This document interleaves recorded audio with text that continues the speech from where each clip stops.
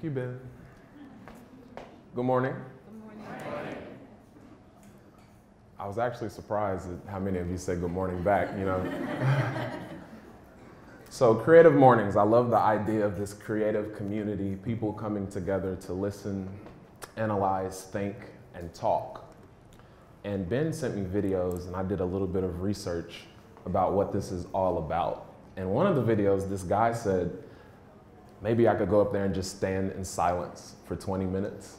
And I thought about that because I'm really into minimalism. I was just talking to Michael Powell about minimalism, but then I thought that would suck. You know, you wake up early, you come to Copper and Kings, and I just stand here in silence. So I won't be doing that. You know, this guy might, but not me.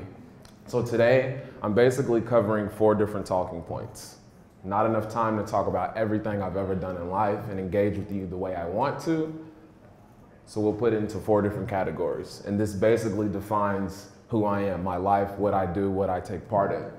Education, composition, performance, and curation. My friend Dave Duran said that the word curate and curation is overused nowadays, and I blame myself because I use it all the time. So I'm not curating a museum, I'm talking about design, creativity, visually. I brought four props, and it was either this or make some sort of PowerPoint keynote prezi. Ben told me that a lot of people do that to just have some sort of visual aesthetic. And I was thinking, man, you must have had some really unattractive speakers in the past. so, no offense, but I'd rather go the prop route. So I brought four props with me.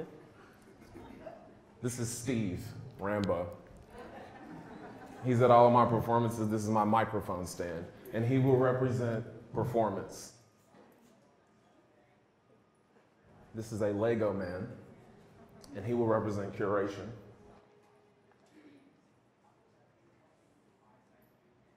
This is a 12 track digital recording studio, and this will represent composition. And the hoodie I'm wearing will represent education. So, with curation,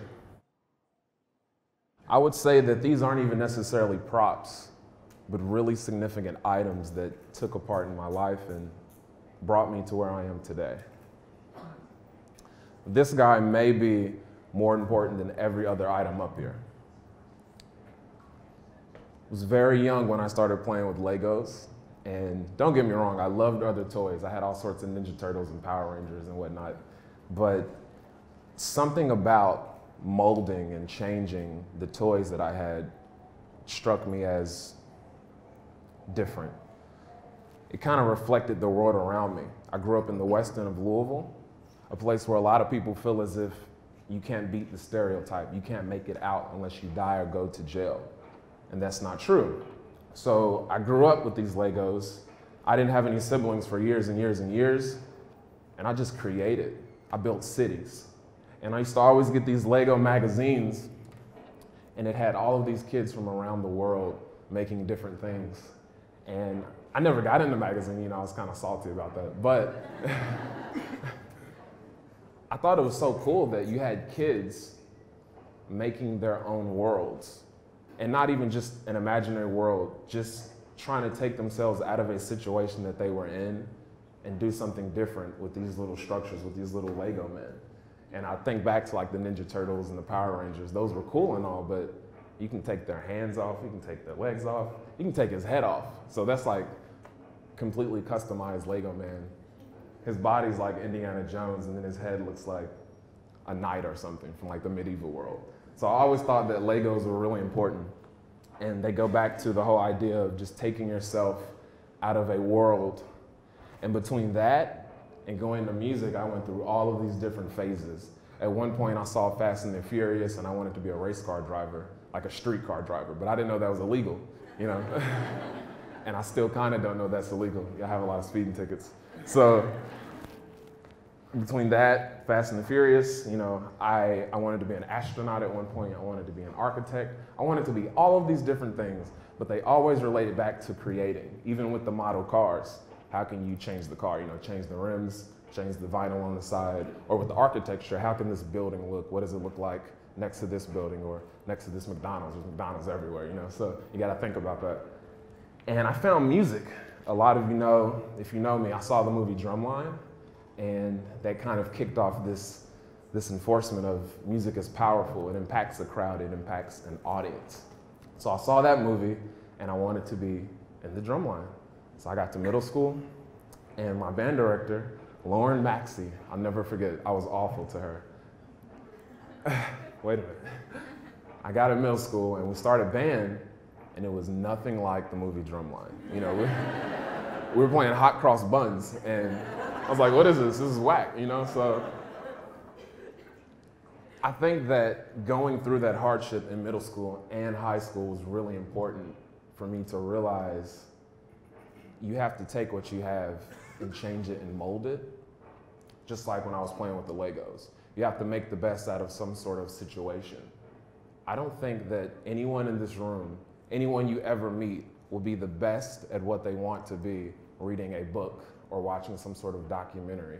I think that everything in life is all about experience. You have to go out there and live it. You have to commit this action, so to speak.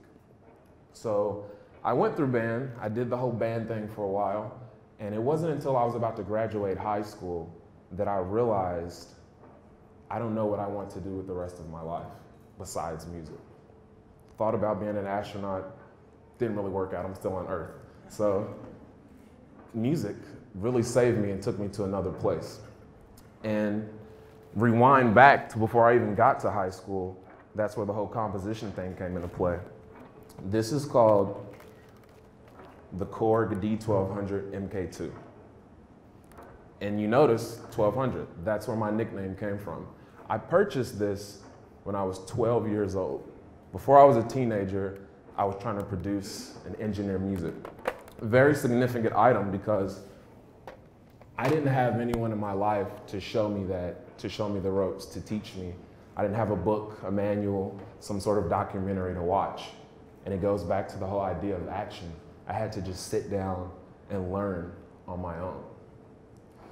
This item came to me when I escaped those childhood desires of wanting to just play and everything being imaginary. So instead of just making this world and imagining it, I had a new world to actually be in. I could actually record, I could actually produce. And I was self taught, and I did that. And I think it's so important and so vital for people to learn something and be self taught. Just by a show of hands, how many people in the room have taught yourself something, whether it was to produce, walk, you know, whatever the case may be, just something of some sort? That's so important. There's a lot of information you might miss from the people who know what they're doing professionally, but the fact that you can sit down and experience something and learn it on your own is so important. I was in this graduate research class and we watched these videos about some random location and they had computers placed in these villages They didn't even have electricity. They had these boxes and they had computers in them. And these kids would come to these computers every day, couldn't even speak English, could barely walk, but they would come to these computers and over a course of time, they learned how to search the World Wide Web. They learned how to type. They learned how to play games. And that just goes to show you that no matter what age you are, no matter what experience you have, you can be self taught in any way, shape, or form. So the idea of composition and relating it to the Korg D1200 is very important. And it takes a certain amount of passion to even make that leap. I was saving up money from Christmas and my birthdays for like two years before I bought this. It's kind of scary. What do you want for Christmas? What do you want for your birthday? Money. It's like, what are you getting? You're a drug addict? No, I'm not. So it was kind of weird, like asking that for two years straight and then saving that money up just to purchase this, not really knowing what I was doing at all, but doing it anyway. Very vital, very important. Now, another reason I didn't want to have some sort of visual representation of what I'm talking about is because they all relate to each other. So I'll be jumping around a lot. So if you've seen me perform, it's kind of the same idea, same thing. The composition relates to the performance. And just by a show of hands, how many people have seen me perform? Thank you so much for coming out to the shows. Uh, a lot of you haven't, so I guess I'll perform like a little snippet or something. This song is called Resurrection, and this is just the second verse of it, so I'll just perform a little bit of it. I show up to events by myself. Never mind, I brought Benjamin. Him and Grant have plenty twins. I resurrect them dead presidents. I resurrect Oladrian and I resurrect Makiba Lee. Both lives lost in the streets, so I resurrect them when I feel the beat. I resurrect my Uncle Fred and I resurrect Michael Newby. Uncle died on my birthday. Newbie died before he really knew me. I resurrected Clay Brooks brothers, Jamal DeMar, God bless your mother. I resurrect Aaron Shields too. I can't imagine how your parents suffer. I resurrect Marco, Deshaun, Quan, PJ, Pinky, and my nanny. I miss all my fallen friends and family. I'ma resurrect you at the Grammys. A lot of people say thug now, like I'm really just supposed to be offended. Tupac screamed thug life. I dare you to say he was a menace. He changed the world and you didn't. He deserves a whole book of Guinness. And I am reincarnation walking. If they gifted, I'm the new Christmas. When I die, celebrate my life. Don't wear black, wear all white. Put 1,200 roses in my casket. Have a gold holy grail for my ashes. When I die, don't bury me. Have a concert in the KFC. Young. Everybody going dumb. Everybody dancing till their bones go numb. Um, I'm resurrected and so well respected. I can influence what man's elected because I'm well connected and the world's affected. When I teach these lessons, 9,000 blessings. I ain't really playing with you simples. See both sides to the middle. I solved all riddles. They kill Trayvon for some Skittles. They pop black heads like pimples. No rice, just pistols. Every time it's a they belittle the committal to a fair just if a trap out with a swivel. So our pair did it on these tracks to these fiddles. So you know every twiddle ain't a piddle. I'm official. So the idea of composition.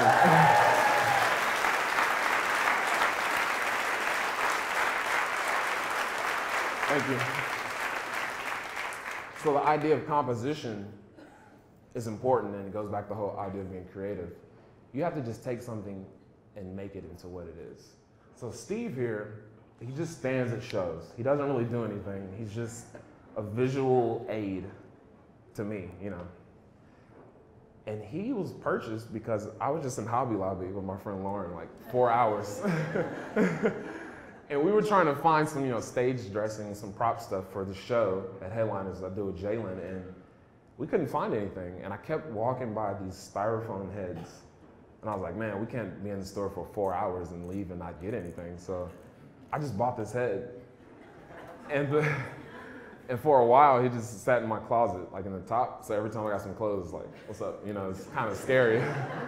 and then I just put him on this microphone stand, and now he's here. So Steve has no real purpose other than to remind you of the performance aspect of my life and I wanted to bring a marimba in here, but a five octave marimba probably couldn't fit on the elevator or get up here. So maybe next time you see me, I'll be able to play a little marimba.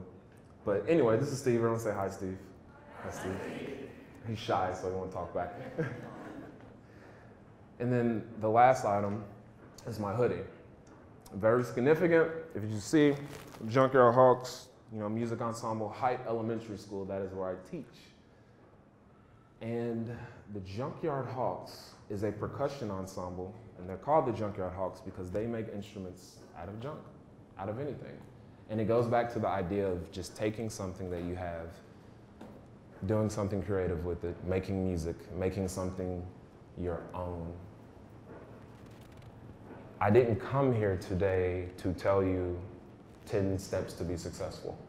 That's not really me. I didn't come here to tell you how to be the best teacher, how to be the best composer, performer, curator. It doesn't matter. I came here to tell you that you simply have to find something out on your own. You have to experience something on your own.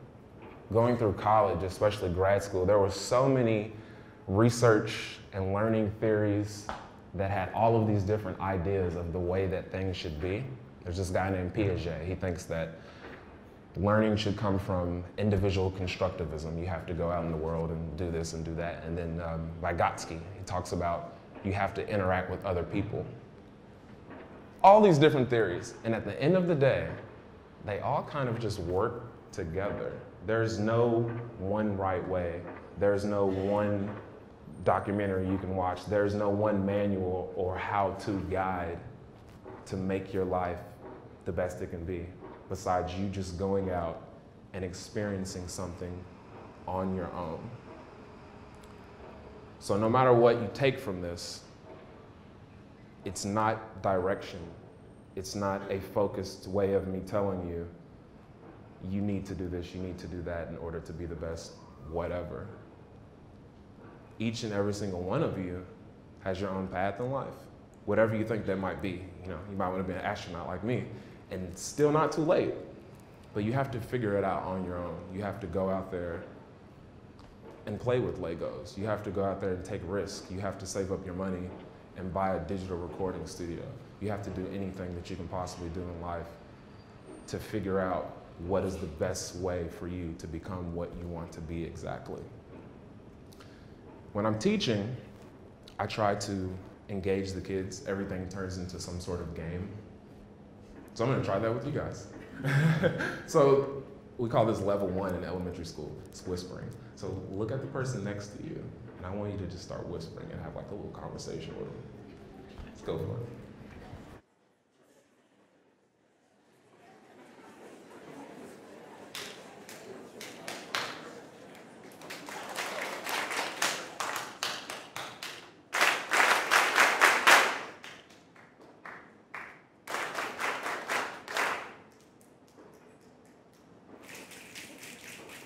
It's amazing how many kids can't snap and how many adults can. so everything turns into some sort of game when you're in the classroom, especially in elementary school. Kids talk, acting crazy, you know, hanging on the walls, jumping off chairs, punching each other, wiping bugs on someone. You know, start the clapping thing, it's like, oh man, they're immediately just wrapped into it, they're into it. It turns into some sort of game. And a lot of times I sing, but I want to embarrass myself this morning and do that. And you think about that, educational side of everything, and how directly it relates to the performance side of everything. If you see me perform, always different elements of engagement, whether it's call and response, like the clapping, or having the audience actually just make it up and sing their own things. So the performance and the education really go hand in hand. And then if you think about it, how can you really have the performance aspect without the composition initially? And then with curation, like I said, Dave Duran, curate is used over and over and over.